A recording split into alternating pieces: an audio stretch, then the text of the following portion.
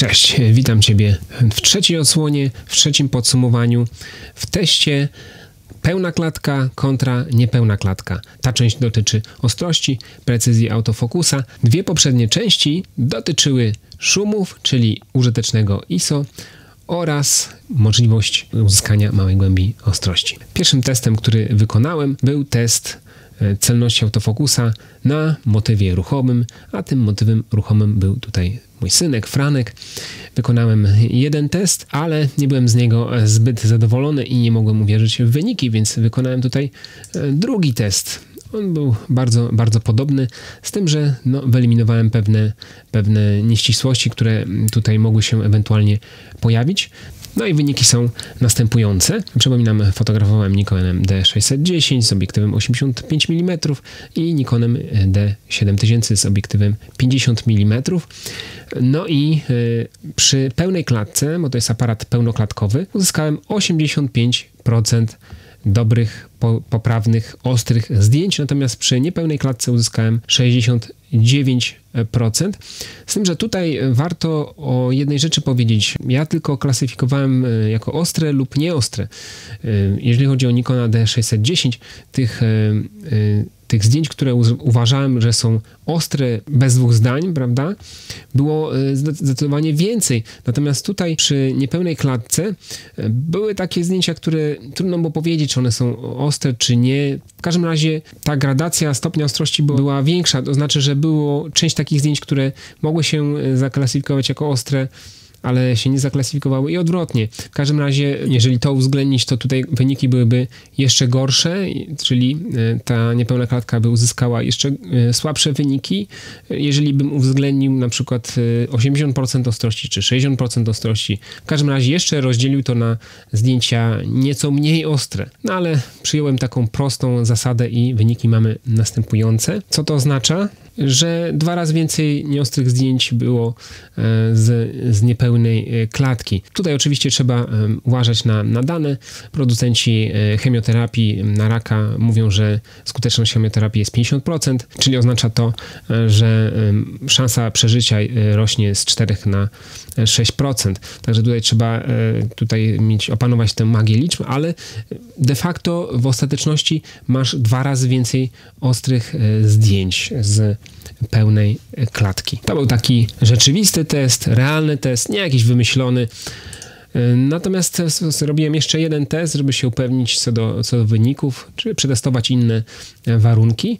No i fotografowałem tutaj drzewo. I już podczas tego fotografowania napotkałem na problemy.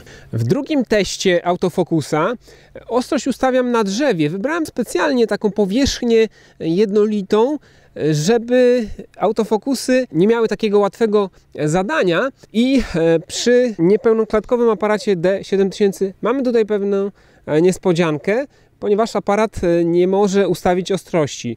Autofokus dopiero po kilku próbach jest w stanie to ustawić. Zróbmy jeszcze raz. Ustawiam ostrość na nieskończoność, włączam autofokus, naciskam spust o, i dopiero było to 3-4 ruchy w przód, w tył i dopiero aparat ustawił ostrość. Także e, już tutaj widzimy pewną przewagę pełnej klatki. Tutaj sytuacja była bardzo podobna co do e, wcześniejszego testu. Tych zdjęć, które były na pół gwizdka, nazwijmy to ostre, było też dużo więcej. Natomiast pełna klatka dawała ewidentnie ostry obraz e, bez e, żadnych dodatkowych komentarzy. Natomiast przy niepełnej klatce tych naprawdę ostrych zdjęć było e, niewiele, a takich prawie ostrych było też sporo. Nie rozdzielałem tutaj tego. No i wyniki przedstawiają się następująco. 100% e, zdjęć wykonanych pełnoklatką e, było ostrych, było poprawnych, natomiast e, z niepełnej klatki tylko 76%. Jeżeli autofokus e, trafił na ostrość, bo jak widziałeś przed chwilą, e, zajmowało to bardzo dużo czasu, żeby autofokus niepełnej, niepełnej klatki ustawił tę ostrość, także tutaj trzeba mieć też na uwadze czas działania. Oprócz tego, że autofokus kilkakrotnie jakby pokonywał cały zakres ostrości, dopiero ustawiał ostrość i ta ostrość była właśnie taka jak tutaj podana podana y, w 76% zdjęcia były poprawne, no to jeszcze trzeba mieć na uwadze jego czas działania. Zwróć uwagę, że tutaj mamy również takie same obiektywy. Wniosek jest prosty.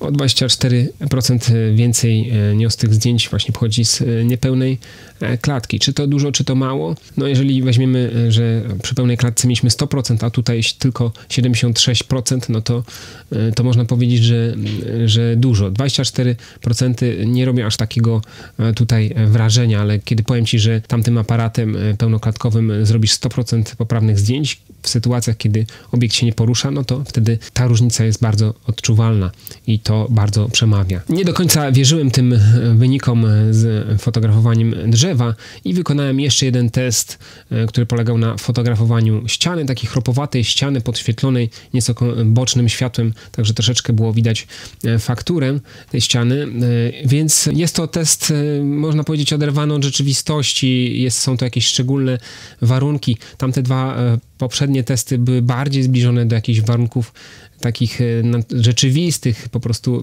tam występują rzeczywiste e, problemy i e, mamy takie wyniki, właśnie rozwiązanie tych wyników w postaci i taką mamy skuteczność właśnie w takich życiowych warunkach. Natomiast ten test jest takim testem, można powiedzieć, tak jak to robią różne portale, które testują tylko, żeby, żeby po prostu podać jakiś wynik, żeby był poprawny i y, wyeliminowane były y, inne czynniki. Ja zrobiłem jeszcze jeden taki test, żeby sprawdzić ten test i potwierdzić wyniki testu e, z drzewem. Wyniki są następujące. Przy pełnej klatce, zwróć uwagę, że jest to obiektyw 85 mm, mieliśmy 84% poprawnych zdjęć, natomiast przy niepełnej klatce w zasadzie żadne zdjęcie było tutaj nieostre, ale jest to obiektyw 50 mm. Jest to inny obiektyw niż ten. No to ta różnica jest już kolosalna, ale przypominam, że są to jakieś wyimaginowane warunki, których raczej nie spotkasz e, w codziennym codziennym fotografowaniu. Taka sytuacja może mieć miejsce, ale powtarzam, tylko może mieć miejsce, kiedy, kiedy fotografujesz śluby, kiedy trafiasz na przykład na jednolitą powierzchnię sukni albo garnituru pana młodego, ale zawsze tam jest jakaś faktura, zawsze jest więcej tego światła, zawsze gdzieś tam są lepsze warunki. Natomiast tutaj była po prostu goła ściana. Niemniej jakby ten test y, niepełna klatka totalnie oblała. No i właśnie wniosek jest taki i nic tutaj więcej nie trzeba dodawać. Zrobiłem tutaj e, jeszcze jeden test, który jest bardziej testem obiektywów niż, e, niż e, aparatów pełnoklatkowych. No i dokładnie tak jest. Mamy dwa aparaty niepełnoklatkowe i dwa różne obiektywy. No i wyniki tego pierwszego już znasz, e, czyli 0% zdjęć było ostrych przy 50 mm, ale gdy podpiąłem pod ten aparat e, obiektyw 85 mm, to okazało się, że 20% jednak zostało e, wykonanych poprawnie tych ujęć, więc jakby różnica jest tutaj bardzo duża i zależy od obiektywu. No i właśnie taki jest tutaj wniosek, że na ostrość zdjęcia wpływają y, te parametry, jakość wykonania czujników, autofokusa i tak dalej, wszystko co jest związane z aparatem oraz dodatkowo wszystko co jest związane z, mm, z obiektywem, czyli wszystkie te e, podzespoły obiektywu, które są odpowiedzialne właśnie za autofokus czy ustawienie ostrości. Jakie wnioski końcowe nasuwają się po e, testowaniu pod względem szumów, e, pod względem e, głębi ostrości i pod względem autofokusa? Otóż, jeżeli chodzi o szumy, to różnica między niepełną klatką a pełną klatką wynosi około jednej wartości jednego EV, jednej wartości przesłony czy czasu. Także ile to procent jest, trudno to, to określić dla zawodowca. Może 1% nawet, czy 2%, czy 5% grać ogromną rolę. E, natomiast e, różnica wizualna w realnych warunkach nie jest aż tak e, duża, czyli wizualnie po prostu nie odczuwamy tego aż tak bardzo. Jeśli chodzi o głębię ostrości, to różnica między niepełną klatką a pełną klatką wynosi około 2, może 2,5 wartości EV. I e, oznacza to, że kiedy ustawiłem e, przysłonę 1.8 na niepełnej klatce, to na pełnej klatce uzyskiwałem taką samą głębię ostrości przy przysłonie 4. Tak mniej więcej to e, wyglądało.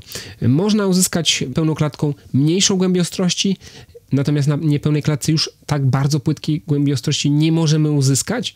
Natomiast pytanie jest, e, po co nam aż tak ekstremalnie mała głębia ostrości, w której roi się od błędów. No i wnioski z tego trzeciego testu. Różnica między niepełną klatką a pełną klatką jest e, różna, ale tutaj różnica jest kolosalna. od sytuacji, kiedy w ogóle nie mogliśmy ustawić ostrości, do sytuacji, kiedy no, różnica była kilkanaście czy kilkadziesiąt e, procent, ale i tak w ostateczności było to bardzo, bardzo dużo. Przeglądając ten materiał, wydawało się, że roi się tam od błędów, jeżeli chodzi o niepełną klatkę.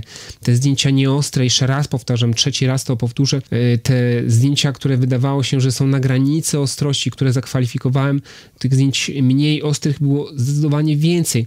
Natomiast e, precyzja autofokusa pełnej klatki była naprawdę bardzo dobra, dokładna i tych zdjęć, gdzie ostrość była wyśmienita, było e, zdecydowanie więcej. Częściej była taka sytuacja, że autofokus w ogóle nie trafił i obraz był totalnie e, rozmyty, niż taka, że były tam jakieś tam różnice. Jako przykład mogę tutaj podać, że jedno z moich ostatnich zleceń ślubnych E, było na tyle dobrze wykonane właśnie pod tym względem ostrości, że wyrzuciłem w zasadzie tylko kilka zdjęć. Słuchajcie, kilka zdjęć, powiedzmy tam, nie wiem, z tysiąca zdjęć. E, tak dokładny e, działa autofokus pełnej klatki. Natomiast wcześniej, kiedy stosowałem, kiedy fotografowałem niepełną klatką, tych błędów było bardzo, bardzo, bardzo dużo i fotograf musi się napracować o ileś tam więcej, ileś tych więcej zdjęć zrobić, robić powiedzmy e, w serii trzy zdjęcia i tak dalej, i tak dalej. E, są tutaj e, po prostu, no trzeba się dwoić i troić, żeby z danej sytuacji, kiedy trzeba wykonać zdjęcie, kiedy, kiedy nie można sobie pozwolić na na, nie, na błędy autofokusa. Trzeba po prostu robić z zapasem, żeby mieć po prostu to uchwycone. Patrząc na materiał wykonany jednym aparatem i drugim, różnice są kolosalne. I moment właśnie, pamiętam ten moment, kiedy się przesiadałem z niepełnej klatki na pełną klatką, to była kolosalna różnica i ta różnica była nie spowodowana jakością zdjęcia, nie spowodowana głębią ostrości, a spowodowana precyzją autofokusa. I tutaj jest największa zaleta, i tutaj najwięcej zyskujemy, e, kiedy właśnie kupujemy pełną klatkę. I to jest chyba w zasadzie ten mit, e, który rozpowszechniają producenci, e, te portale, które informują o nowościach, czy testują aparaty. Jest to gdzieś tam po prostu wtłaczane w, w umysły fotografów, którzy myślą, że kupując po prostu pełną klatkę mamy zagwarantowaną totalnie inną jakość, totalnie lepszą jakość pod e, wszystkimi względami.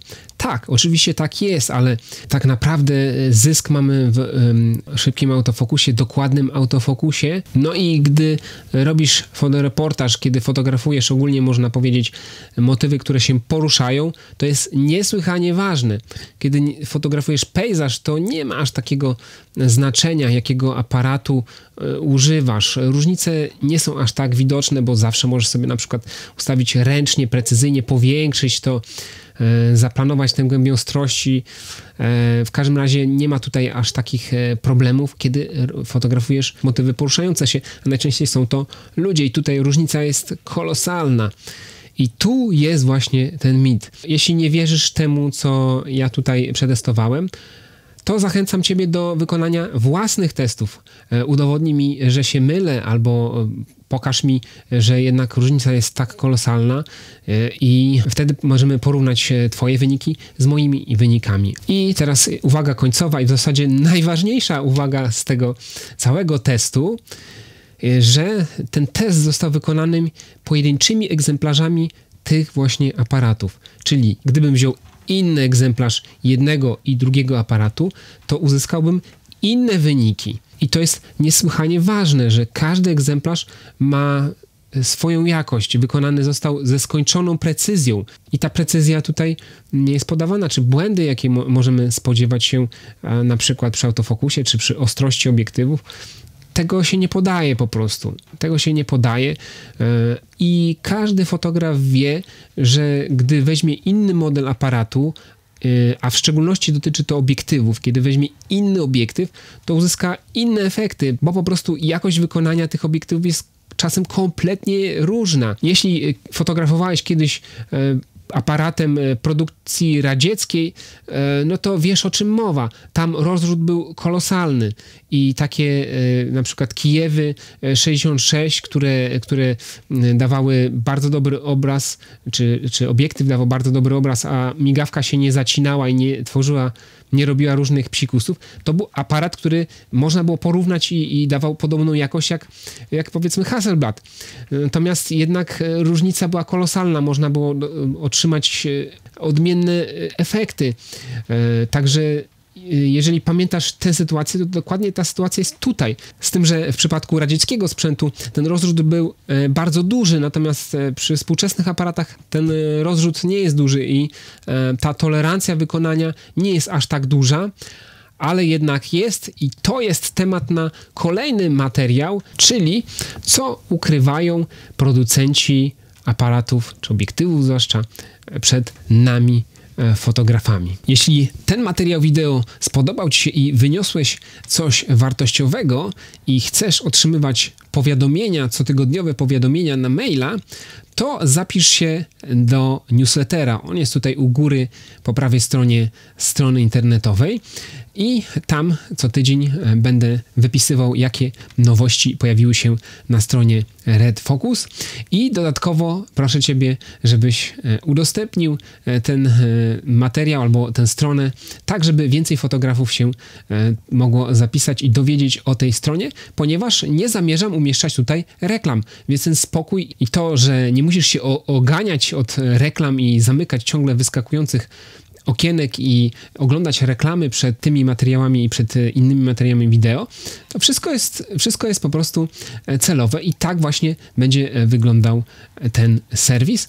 I y, moim najlepszym właśnie tutaj wynagrodzeniem jest to, że udostępnisz ten materiał lub inne materiały, albo najlepiej y, udostępnisz całą stronę, polecisz ten serwis innym fotografom, swoim kolegom, koleżankom.